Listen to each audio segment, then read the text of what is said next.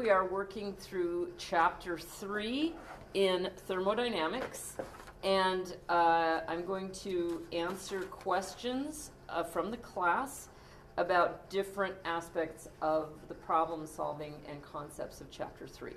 So, uh, this will be on our Moodle page, and we can start answering questions. Where should I begin? And we don't have to go in order, just 327 it is. All right. So problem 327 asks us to complete this table for R134A. All right, now there's a couple of things you need to do just to orient yourself before you start working with the table. The first thing is take a look at the substance. We have tables for both water and R134A. Now, if you are 134A is a refrigerant. It replaced R12 as the major, ma the, the most commonly used refrigerant, thank you, in, uh, in the United States back in 1993. Uh, it was R, R12, R134A is a, chloro, is a fluorocarbon. R1, R12 is a chlorofluorocarbon. Um, in general, refrigerants tend to be odd. They have to flare, they have to change state at very certain conditions in order to pull heat. And so they tend to not be real common substances. Uh, a good, there are some good refrigerants that were very common, that are very common in daily usage. Liquid ammonia makes a really good refrigerant, uh, but it's also quite toxic, so it's not a good, um, it's, it's not a good public use. R12 had an effect of potentially destroying ozone. And uh, so R134A was uh, implemented in order to sort of overcome that challenge. R134A is somewhat flammable. So back in the old days, they thought R134A was a bad deal, but um, now it's it's sort of like people know how to handle it, and so it's it's not it's it's it's been the most accepted refrigerant for uh, consumer use in the last almost 30 years. Yes? Why don't they just give it a real name? What? Like coolant. like coolant. That's what it usually. They, so that's a great question. They call it whatever is the most whatever you're using. They tend to just call Freon. So Freon, Yeah. but Freon does. For AC. and, Yes, um, like exactly. Is that That's like exactly right. specific, like liquid stuff? Yes. Or is it- Well, Freon is the the. This is the way it's used. There may be something fancier than this, but generally speaking, whatever refrigerant you're using, people refer to as Freon.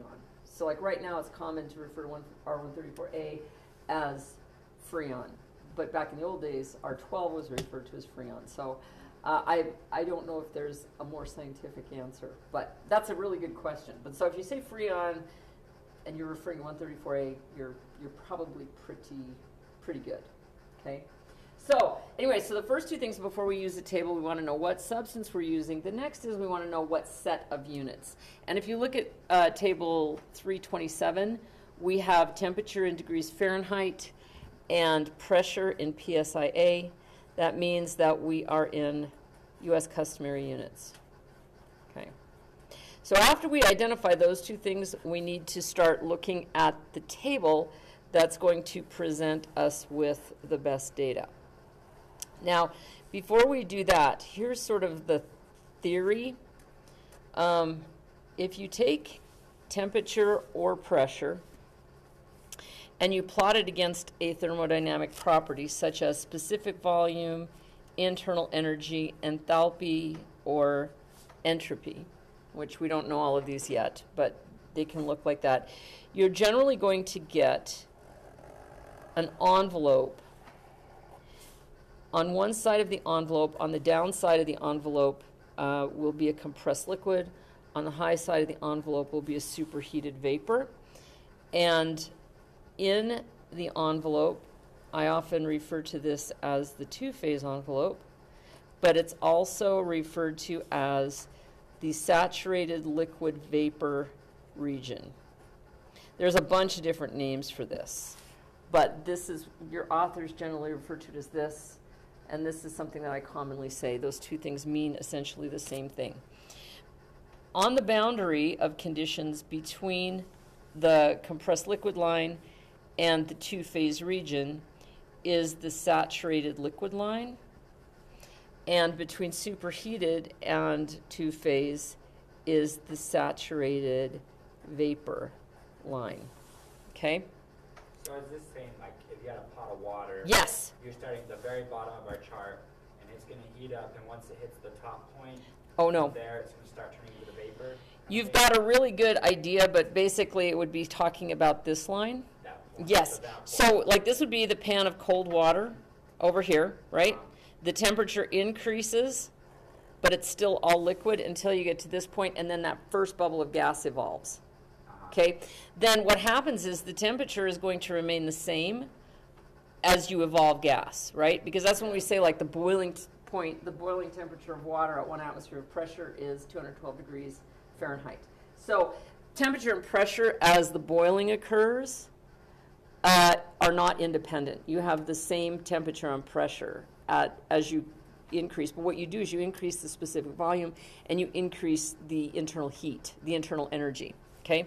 So here's where you get the first bubble of gas, here's where you get the last bubble of gas. And everywhere in here, you have a mixture, so maybe it's 10% liquid, 90 per, or excuse me 10% vapor 90% liquid over to the opposite as you go across and we assume that to be a linear relationship across that two phase envelope it's pretty close for most of our substances it's a safe assumption okay so when you get here this is you've boiled off all the water and if you keep adding heat to it the temperature will then go up and the steam will become superheated and there's a lot more energy associated with superheated steam than there is with um, two-phase liquid or with hot water. All right. And it gets bigger and bigger. That's what the specific volume tells us as well. Now, the saturated liquid line, so there's all kinds of different pressure temperature combinations where the substance will be in the two-phase envelope. So maybe here it's, I don't know, 40 degrees and 40 psi. Maybe here it's 60 degrees and 50 psi or something like that. But in the two-phase envelope, those two are not independent. The saturated liquid line and the saturated vapor line meet, not always necessarily at the top of the curve, but they meet at some point, which is called the critical point. And above the critical point, the fluid is just a supercritical fluid. We don't see a lot of supercritical fluids, but they play a really important piece in chemistry and chemical engineering. Um, and there's some really weird behaviors that start occurring around the critical point as well, which are really interesting. So those of you that are either going into mechanical or chemical engineering. You'll get to spend some time, uh, petroleum engineering if we have any of those. You'll you'll get to see some really interesting uh, near super near, near critical and supercritical behaviors. But for now, most of our envelopes look like this. So the first thing that we want to do now that we've decided we see that we're working with refrigerant or with Freon and that we're in U.S. customary units is to find the correct tables. So I'm going to come back over here to the podium PC. Now you may have these printed off, or you may have them in your ebook or in your in your sit on the textbook, sit on the table, right? But I have them here. This is these are actually the thermodynamic property tables taken from um, an older edition of the textbook. Appendix one is in SI units, and there's a bunch of different tables, but uh, we'll talk about those in a minute. Appendix 2 are the same tables, nearly identical tables, reproduced in English or U.S. customary units. Okay, so the first thing is we're in English units, so we're going to go to Appendix 2. Next thing is we need to find some tables. I want to look for the two phase or the saturated behavior for not water. See, like if I look here, saturated water temperature table. It starts at. Yeah, there we go. So we want to come down here to the saturated curves, saturated data for Freon or R134A. Okay, so here we are. Now the other thing is table A11E is the data in the two-phase region organized by temperature. Right after this chart, after we get through the superheated, oh, I think I might have passed it up. Let's see. Okay, after we go through the data organized by temperature, you'll see that the next table is organized by pressure. So if you're given pressure, you can use one. If you're given temperature, you can use other. But it's really the same data. It's just at slightly different points. But the data is the same, describing the same thing. All right, so let's take a look at uh, a 327E. It tells us that we have, uh, this is A, we have a pressure of 80 psia. We don't know what the temperature is, but we know that the enthalpy, H, which is um, sort of a, it's a property of heat, it's a property of energy of the system. Come over here to the document cam. Our value of H is 78 BTUs per pound of mass. All right. So the first thing we want to do is to think about this tape, this chart in conjunction with the property tables to decide are we in the two-phase envelope, are we compressed liquid, or are we superheated? So going back over to our table, we know that we are at 80 psi, so we're going to check this out. 80 psi. And if we come over here to H, we see that H sub F is 33 point something. H sub G is 112 point something. Our H sub G is 78, right? So we know that H sub F, which would be the H right here, that just stands for the H of the fluid, is, and I'm going to use whole numbers, I'm not going to carry out the decimal points. This is 33, same units. H sub G, which would be right here, is 80, 112. Thank you. 112. All right. So since our value of H is between these two, it means that it's in the two-phase envelope. Okay. Now, if it was lower, it would make a compressed liquid. If it was higher, it would be superheated steam.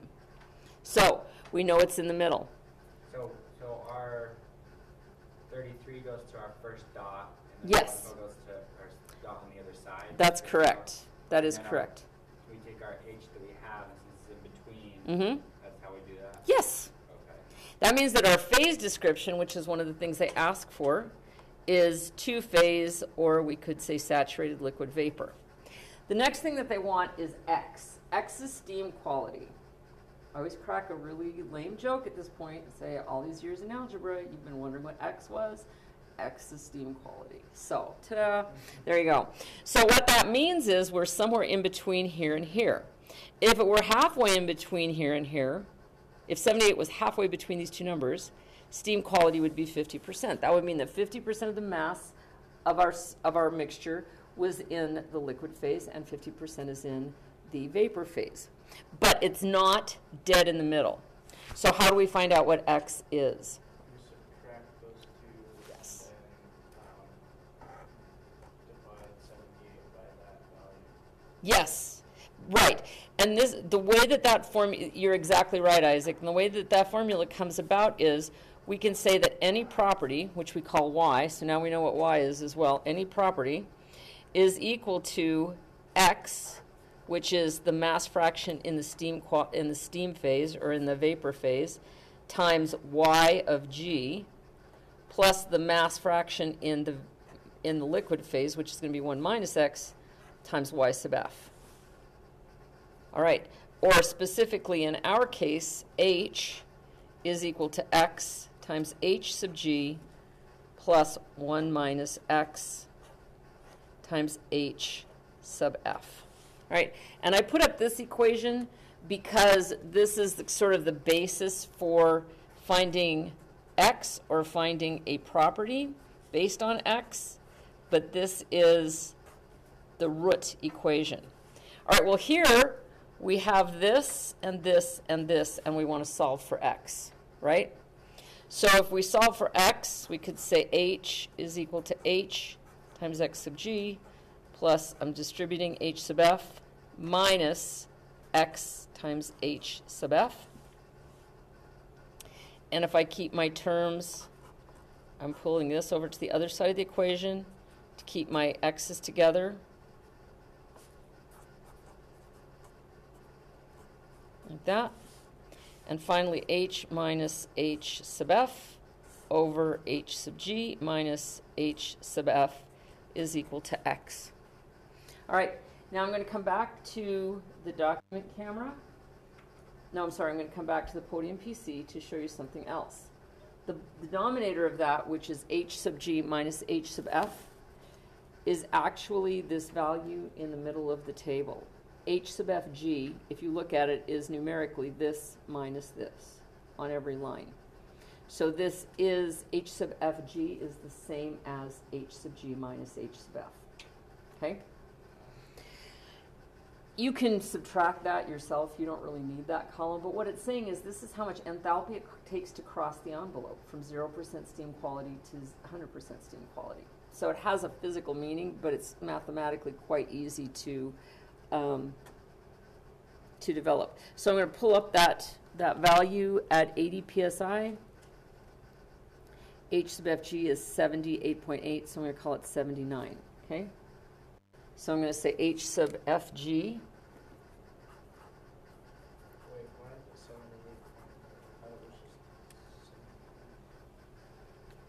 At 80 psi, it's 78.8. Here's 80 psi. Okay, There's 78.8. okay. Okay. All right. Yeah, just in the chart, they had seventy-eight. I mean, but it- Yeah. Like in the actual question. Yeah. it Oh. says 78. Eh, gotcha. Okay. So it's. All right. So I'm just pulling it off the table, right? And you may have some little differences like that. Yeah, absolutely. All right. So that means I know that this is actually h sub fg, so I can say h minus h sub f over h sub fg. The h value I have is 78. h sub f is 33 over h sub fg, which is 79. So you can also see is this is the fraction of my h, the h of our mixture, minus the lower end over the total distance between the lower end and the upper end. So that's really just, that's just the fraction, isn't it? The fraction you are into the curve, or from the bottom, from the bottom of the curve. So here, 78 minus 33 is 45. Divide that by 79, and what is that value? Fifty-seven, well, point five seven. 0.57. So that means that x for this problem, or steam quality, is 0.57 or 57%. 57% of the mass is in the steam phase. So you, So we write that as a percentage or we write it as a It, decimal? you'll, I, I prefer to write it as a decimal, but you will see it as a percent, so I don't want it to, I want you to be aware that it could be both. And if you write it as a percent, it will be fine.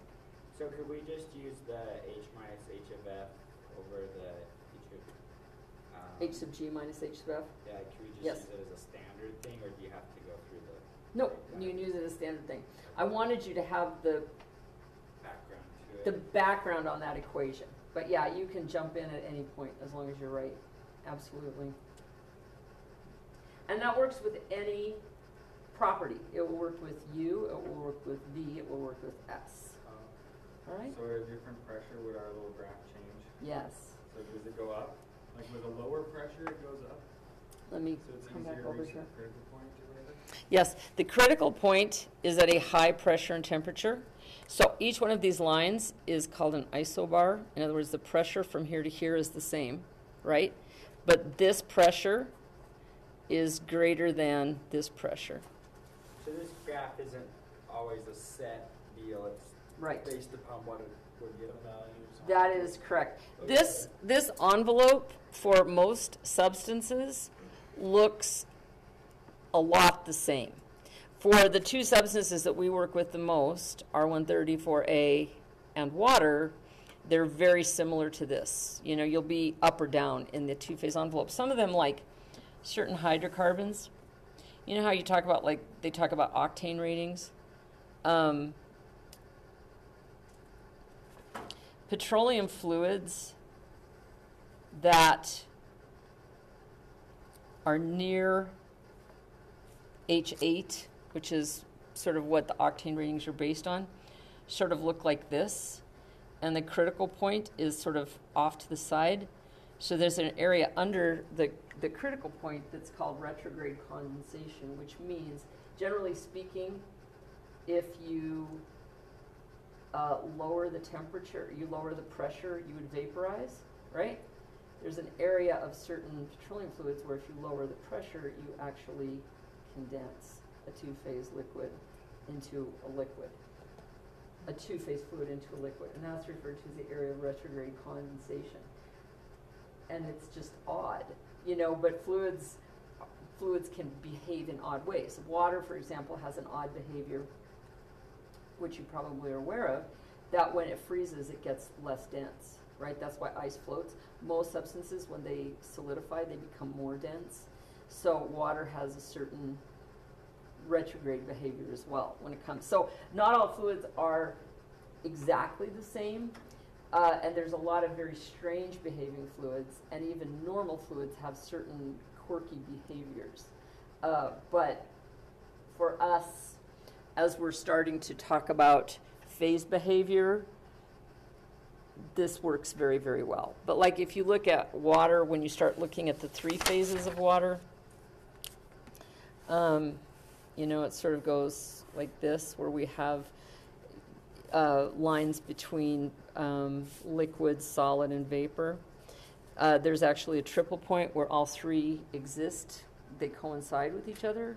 And then if you look at density right around the triple point, you have that strange little expanding behavior um, when it freezes. Now, it doesn't continue. When it gets colder and freezes, it starts to contract again. But that's that's wh- why water freezes on top, which of course is pretty cool because otherwise I don't know what I don't know what like lake or river life would look like in the wintertime if it was different. You know, so it'd be a little odd. It would be different. So yeah. But anyway, All the fish would come to the top and it'd be easy to access. that's it exactly. I like it. So maybe that would be it. But they'd have to get through. They're like, oh, here comes ice. Get on top of it before it solidifies, right? So anyway, so yeah, that's kind of fun. And there's it, there are people who there are scientists and engineers who devote their entire careers to studying these things. So like maybe an effect. Um, and when you start taking, is anyone in here in fluids? You guys aren't in fluids right now.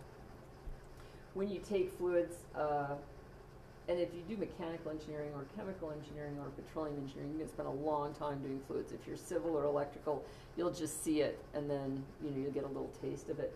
But there are scientists and engineers who spend their you know years and years and years studying odd effects of different fluids. So, so yeah, and you know when I say odd, it's not just for the oddity; it's for the properties that they carry. Like we're just talking about water. You know, um, refrigerants, for example, their ability to change phase from a liquid to a vapor and pull heat out of an insulated space is what they're designed to do uh, without killing people in the process. You know, and that's why like uh, ammonia, you know, ammonia is great, but ammonia is deadly. So you don't want to have someone running it in their refrigerator in their kitchen or in their car, heaven forbid. So, but uh, some commercial applications do use ammonia, but you just have to be aware of your audience for that sort of thing. So, anyway, all right. Other questions? Where should we go from here? Does the so we talked about the saturated liquid slash vapor, Yes. also known as the two phase. So Yes. Like, is there something that like separates the two? Like, would we call it saturated vapor if it's more towards the Ah, side, Super. or we call it, Yep. or does it matter? It does, and that's a great question. Inside here, when you're more than 0% steam quality and less than 100% steam quality, you call it the saturated liquid vapor region. So you use both terms. On this line, at the exact point where um, X is 100% or 1, that's the saturated vapor line. Okay. And on this line, it's the saturated liquid line. So saturated liquid line and saturated vapor line are boundaries of the two-phase region or the saturated liquid vapor region, and they meet at the critical point. okay. So those, those two points on either side, like the one on the left. would Yes. be, um, saturated liquid. and Yes. the one on the right would be saturated. Yes, perfect, perfect. So for the bottom part of three twenty-seven, it has the one. Yes. would be saturated vapor. Yep, so we're over here, right? X equals 1.0, or we could say 100%. and we are given a temperature of 110 degrees Fahrenheit. Okay, so when we go into the chart, into the tables, um, we're still with the two-phase region or the saturated refrigerant, right? We are not looking at the pressure table, we want the temperature table. We're told that the temperature is 110 degrees.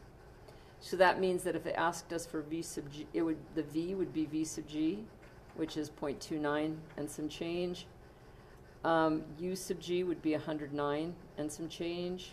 H sub G would be 117, and S sub G would be 2.218. And we know that it's G, uh, the S sub G, because we're right on this line. Okay? And even if you want to go back to this equation, you could say 1 times H would be equal to 1 times H sub G plus 1 minus 1, which is 0, times H sub F. So mathematically, it also makes sense in that proportionality.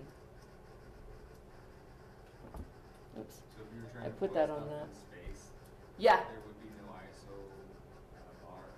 in space, Is it? It would be, um, that, you know, that's a really interesting question. You would still have, depending on the nature of the fluid, some potential behavior that would look like this, but depending on the fluid, it would, I mean, but the behavior would be the same, just, um, at a very, very low pressure. So, yeah. And I'm not really sure, I'm sure that's tabulated somewhere. I mean, just because scientists like to do that kind of thing, but I don't really, I don't really, I don't know that I've ever seen that. The lowest pressures that we really get to here are like um, five psi, which is about a third of an atmosphere. So, but one would expect the behavior to continue as the pressure decreased. Yeah, good question. So on these tables, Mhm. has, um, internal energy, internal energy would be U, enthalpy would be H, and entropy would be S? Yes, that's correct. And the, your author and sort of the, the, um, the discipline of fluids and the discipline of thermal and the discipline of chemistry are pretty rigorous about using those letters. So the other thing to note is that if you use lowercase US or H, it's generally on a per pound or per kilogram basis. So in other words, it's a, an intensive property, okay? If they're capitals, the same letters, V capital, U capital, and uh, H capital and S capital, that means that it's total. So they've multiplied the pounds or the kilograms through. So you just get a value in BTUs or kilojoules or something like that. Um, then it, then we get to the letter V, which is like the most overused letter in thermodynamics. So we have to be a little careful with that. So, yeah. So you have to look for context. Yes. And, oh yeah, the specific volume is that Yes. V with the, the things. Yes, that's correct. The view of the thing, and sometimes if they have a small letter, uh, like U, small letter with a bar over it, that means per mole. So they have, but it's always based on some quantity. So either if it's just U without a bar, it's usually either pounds or kilograms. Um, but if it's a bar over it, it generally means it's per mole. Is that what that little symbol means? Yes, when it's like you with the bar over it. But once again, Or- look for context, yeah. You know, look at it and kind of think, you know, because it will tell you the units as well. A good engineering table should always provide you with units, so you shouldn't be guessing at that. I mean, you should- they shouldn't make you guess at that, is what I'm saying. Yeah. Another question about the PSI. Yes, So sometimes it says PSI A. Yes. I saw one that said PSI B. PSI B. Is that a typo? I think that's a typo. There's, Um, there's PSI G. G, So what's the difference here? PSI A means that they've included atmospheric pressure. PSI or PSI, and PSI is just ambiguous. PSIG means it's a gauge pressure, so that means that you are basically subtracting out atmospheric pressure, or it's what you would read on a gauge. You know, yeah. Like you take your tire, your tire pressure gauge, and it just says zero until you booted onto the tire. And then if it says 35, what it really means if the atmospheric pressure is 14, you really have atmospheric, you would have, that's correct. Yeah. Yep. I think that's what it. Super, super That was one of the questions. questions, is like uh, a. Yeah, it was three forty-one. 341? No, Let's- it's Seventy-four. 374. No, it was a G. Yep. Yeah. Oh, there it is. And it's even an automobile tire pressure. Yep. Very nice. And like I said, I think I've told you this, but here in Powell, Wyoming, we're at a pretty good altitude, so our atmospheric pressure is really more like 12 and a half psi. If you get a bar- barometric reading, but it is confusing to me when you get your when you get data like from the Weather Channel or like if they report what atmospheric pressure is, um, they correct it to sea level, and I'm sure there's a good reason for it, but I don't really know what that is. So, if you actually had a barometer, you, have to adjust your you have to adjust it to your altitude. So, I know one good application for that is. Uh, like people who fly little planes like Cessnas and so forth, they actually their altitude is determined barometrically. So they dial in when they're in the airport, they dial in the barometric pressure, and then that gives them the altitude of that airport.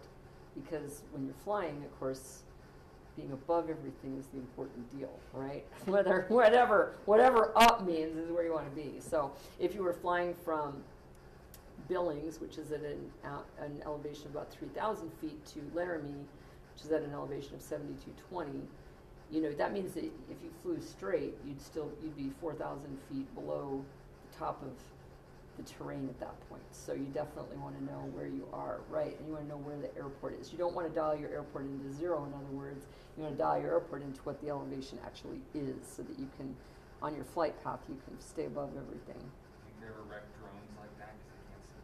Pro- it could be, you know, I mean, They that's. have cameras on the bottom that actually, Oh, uh, like, depending on Yes. how sophisticated it is, it will, they even have ones that have like sensors that make it so you can fly through a forest. and Ah, sweet.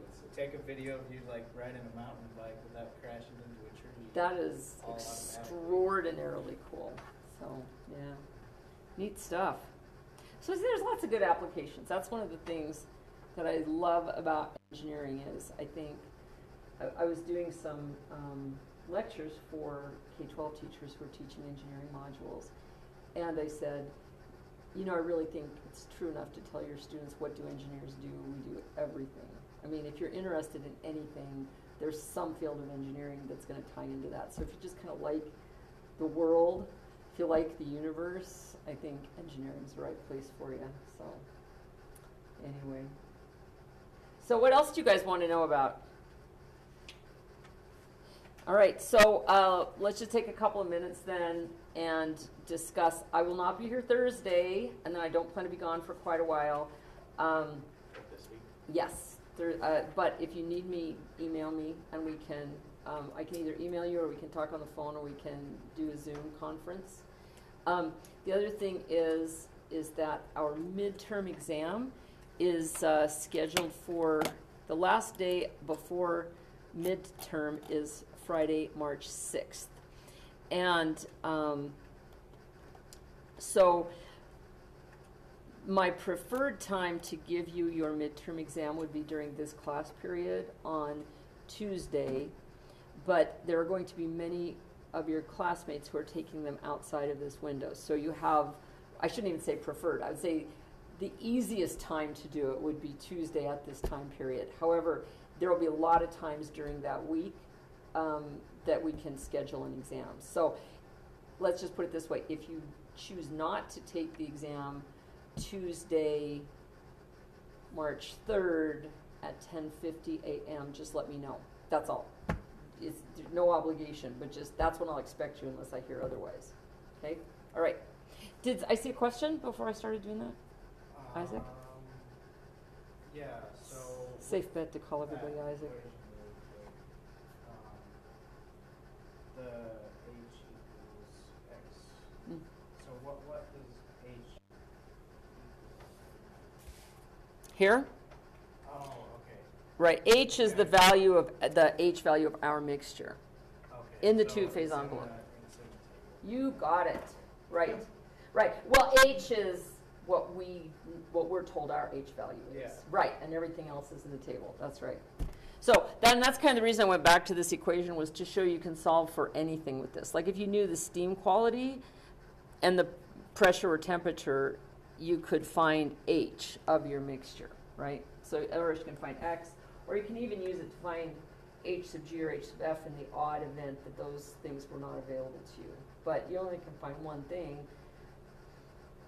but you can find any of those things using your algebra skills. So, good question. What else? You guys are great.